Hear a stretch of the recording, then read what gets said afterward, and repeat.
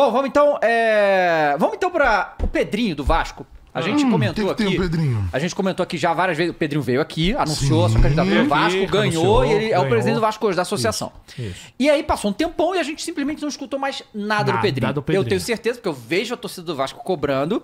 E eu tenho certeza que isso incomodou ele, porque mostra que é um cara que ama o Vasco e quer fazer o melhor pro Vasco. Então ele deu uma entrevista e falou algumas coisas é, que a torcida do Vasco ficou muito chateada, não com o Pedrinho, mas da situação. Tá. Porque diz que basicamente ele não pode fazer nada, pô. Mas ele não pode, Ele não né? pode fazer nada. Mas assim, que. Mas que- ele sabia disso, não? não, tudo bem, mas ele achou Mas a torcida não. que ele ia ter. Tá. Não, mas não, eu acho que ele também achou não, que poderia teria ter mais parceria. influência. Não, ele, que, Teria ele, fa- é, parceria, ele falou que, entende? ele falou que ele achava que ele teria mais voz. Entendi. Tipo assim, ele participaria da tomada de decisão, Isso. tipo, não escolheria, mas.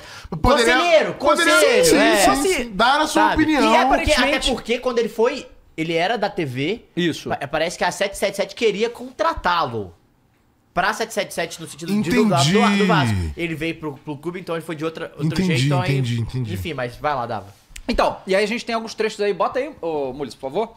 Pra gente ver o que, que o Pedrinho falou em relação ao Vasco 777. É, ele tem 30% da SAF, mas ele não é aquele É. que bota dinheiro, né, gente? Então. É, não, não, é- não é só isso. Não é, não é a questão de ter 30%, não importa os por cento. No contrato lá da SAF fala que a 777 é dona do futebol. futebol, é. Então não importa se tem 30%. Ele não tem 30% de influência, não tem. Porque a 777 é dona do futebol, pô. Né? Então vamos lá. Começando esse primeiro aí, vai. É, não, não tá saindo. Não vou falar com a Aí. Crefisa porque a minha relação não é com a Crefisa. A minha relação é com a Leila, que é uma pessoa muito especial, mas diretamente com o seu José, que é um, se tornou um grande amigo. É, a relação foi surgindo porque a gente, é, nós fomos a São Paulo para ver a estrutura do Allianz Parque, pensando já na modernização é, de São Januário. E depois a gente pegou uma, uma relação muito íntima com o seu José, onde ele demonstrou interesse em colaborar com relação ao Vasco na minha, obviamente, candidatura, sendo eleito isso confirmado.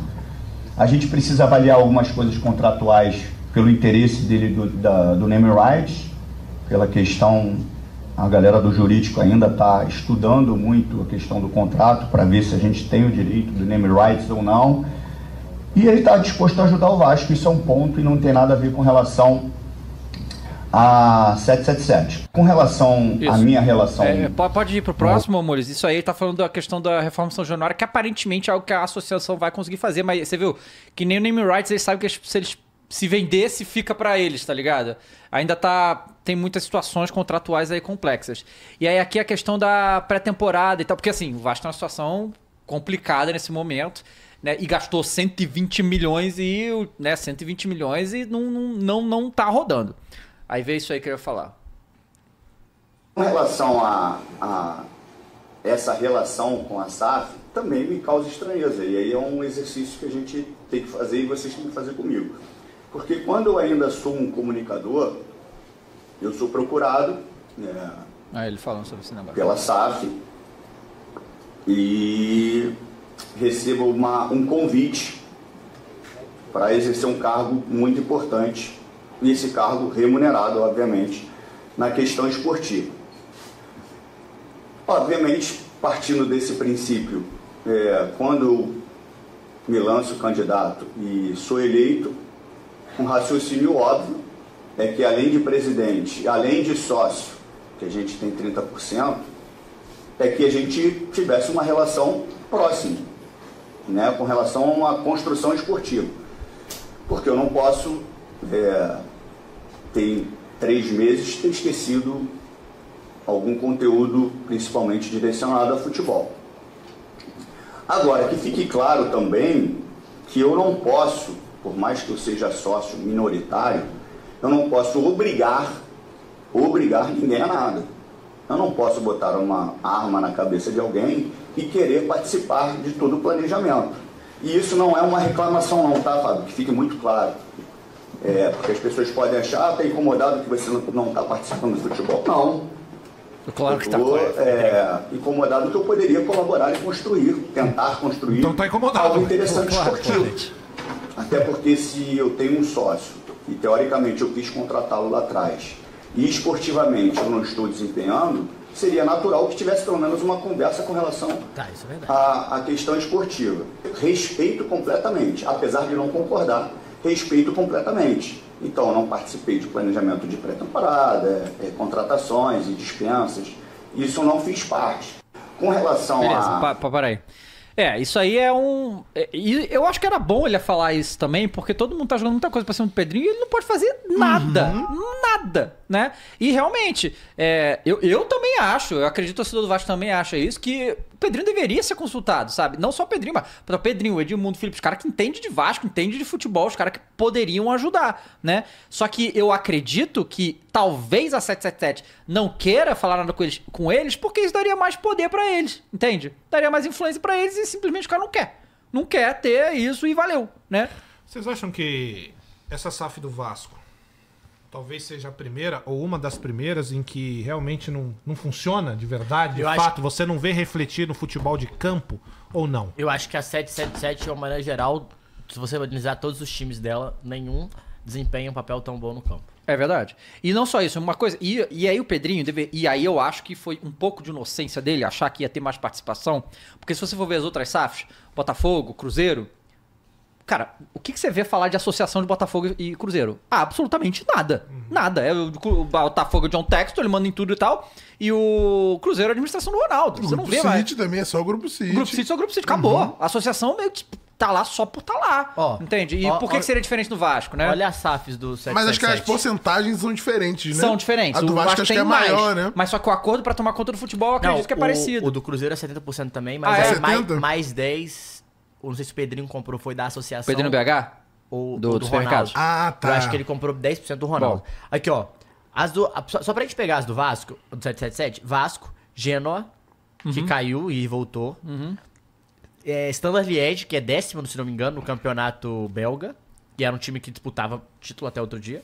Sevilha, Aham. que tá nas baixas na Espanha. Não, pior, nas piores temporadas da, do Sevilha. Everton, que está mas, nas mas peraí, baixas. mas peraí, a 777 o nome do Sevilha há quanto tempo?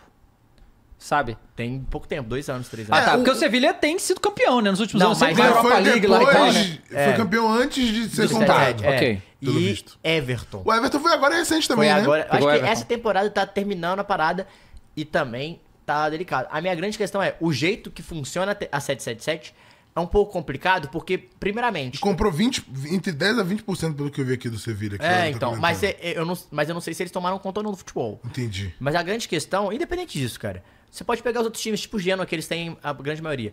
A grande questão é, o jeito que funciona, pelo que o Alexandre Matos vazou lá, a gente Isso. viu algumas coisas, inclusive fica o, con- o convite aí pro Alexandre Matos, cara, a situa pra ele vir cá, a situação é tipo, tudo passa pelos caras, análise de scout, mas existe uma situação, é como é que eles querem que o Vasco joga? Não, eles pois é. sabem. Qual que é o estilo do Vasco?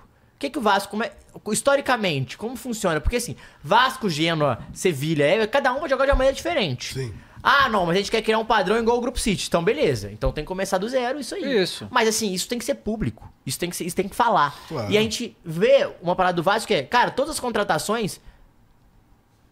Tem algum, Não, algum pois padrão é, assim? e, isso Não que é tem, louco, né? porque gastaram muita grana. Não é como se não tivessem botando dinheiro. Eles É. botaram, sabe? Mas foi uma ingerência aí nesse um time muito desequilibrado, né? O Vasco. E, Em jogadores que não mudam o patamar do é, time. né? exato. E, e, e, assim, estranhíssimo esse negócio. E aí o Pedrinho tá com essa situação. É, eu acho que também essa decisão, é óbvio isso também, né? Que deve muito ao que era o Vasco, né? A situação desesperadora. É, exato, o Vasco, esse que é o problema Quatro de- vezes né? caiu, não é? Quatro e ficou cinco e anos ficou na Série cinco B. anos na Série B. É, o próprio Pedrinho vai, ele veio aqui, né? Uhum. Se emocionou e tal. E era um cara que queria ir realmente fazer mudança. Talvez isso também pegue no pé. Eu só não entendo ele falar que não liga porque não tá mexendo. Claro que liga, pô. Claro que queria estar tendo decisão. Quando você Ah. acho entra que ele numa não quis ser empresa. polêmico só. Quando você É. entra numa empresa que você, porra, quer fazer diferença, quer mudar, quer fazer plano, você quer participar das reuniões, você quer fazer E que planejamento. você sabe que tem capacidade de, de mudar, né? Óbvio. Só Ah, que aí tá. aqui no caso do Pedrinho tem um ponto, tá? Valeu, Igor. Tem um ponto no caso do Pedrinho. É, eu acho que ele já desconfiava que ia ser mais ou menos assim sim, viu, Odava? Aham. Mas ele foi muito por esse intuito de torcedor, cara. Você quer estar lá, você quer de alguma forma interagir, Ajudar. tentar brecar e ajudar. E agora ele tá vendo que já viu que não vai ter jeito. É, É, isso aí. Ele é uma figura que tá ali, vai servir de escudo e nada mais do que isso. Né? Concordo, é um jogador ídolo que a torcida respeita. E o foda é que entende isso. muito de futebol, né, Cross? Poderia ser futebol, aproveitado de outra claro. maneira. E o cara só explicou aqui, o, o, o- o Igor Antunes, ele falou, cara, a do Cruzeiro o, pegou 20% do BH o Pedrinho BH pra, e, aju- e ele reformou a Toca 1 e a Toca 2 pra padrão europeu. Tá. Ele, então, provavelmente foi injetado mais de 100 milhões, só pra reformar esses dois lugares ele ganha 20% do Ronaldo. Ah, ele pegou do Ronaldo. Tá. Vê o próximo aí, vai, ô Muris, por favor. Quando eu entro aqui e falo que não vai ter mais sacanagem, isso causa um burburinho.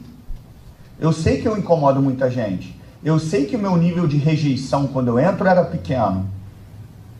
Então, existe todo é, um reboliço dentro de São Januário porque o incômodo acontece. Porque eles sabem a pessoa que eu sou, sabem o respeito que eu tenho pela instituição e a instituição tem que ser respeitada e vai ser respeitada. Enquanto eu estiver aqui, o Vasco vai ser respeitado. E se Papai do Céu permitir, com muita humildade, quem me conhece sabe, e quem falou que, que eu tenho vaidade com relação a isso, de não procurar A ou B da SAF, está mentindo, mentindo, porque vaidade, eu tenho outro tipo de vaidade, vaidade na questão de poder, o melhor momento da minha vida como jogador, fazendo dois gols nas quartas de final da Libertadores, convocado para a seleção, eu nunca tive vaidade. Então não vai ser agora nesse cargo que eu vou ter. Muito pelo contrário. É, então as pessoas elas têm que entender que eu vou fazer o bem ao Vasco. Eu vou corrigir o Vasco. Pode ser em três anos. E se não for em três anos e as pessoas me quiserem aqui, vai ser em seis. Porque o meu projeto aqui é fazer o Vasco que eu vivi, que eu conheci. E que as pessoas têm que é, é, começar a entender, e eu vou repetir isso sempre, que ninguém é maior do, do que o Vasco. Ninguém, nem pessoa, nem nada. Ninguém dentro do Vasco é maior do que o Vasco. Quando as pessoas começarem a entender isso, de repente o caminho vai ser diferente. E quando eu entro. Tem mais? Oi? Tem não. Não, beleza. É, então a situação tá essa aí por enquanto. Claro que depois do momento de eliminação as coisas ficam mais tensas. E óbvio que. Porque aqui no 777 é uma empresa sem cara, né? Não tem cara. Sim. Aí tinha o Alexandre Matos ali, ele vazou também, então. Aí a torcida vai cobrar quem? Ah, acaba cobrando ele, pô, né? Que Ah. fica ali amarrado porque ele não pode. Mas assim, Fazer. e esse negócio de cobrança é algo que acho que ele também não tá ligando, porque ele sabia, né? Claro, não, É, isso aí é todo óbvio, né? presidente tem que estar preparado para isso, para essas cobranças. Agora, só não entendo que é o que você falou. É, pode ter sido um pingo de ingenuidade, mas é uma ingenuidade que ele aceitou. Talvez. O que, que eu quero dizer com isso?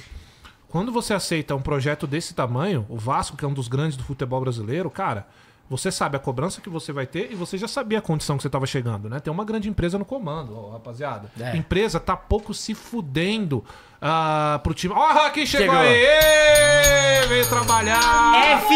Hernanda. trabalhar. F. Hernanda.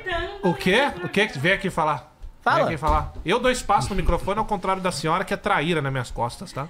Me informaram que você está me fritando nesse programa. Nada disso. Estão mandando no chat. Falando No chat. mal de F. mim. Hernanda. Falando, tá falando. Na verdade, o que eu E a disse é que galera agora. do grupo está me apoiando. Não Ah. estão, porque são um bando de canalha. Na verdade, eu disse que agora eu sou time Vitória e que você que se lasque. Ah, Foi isso que eu disse. Não.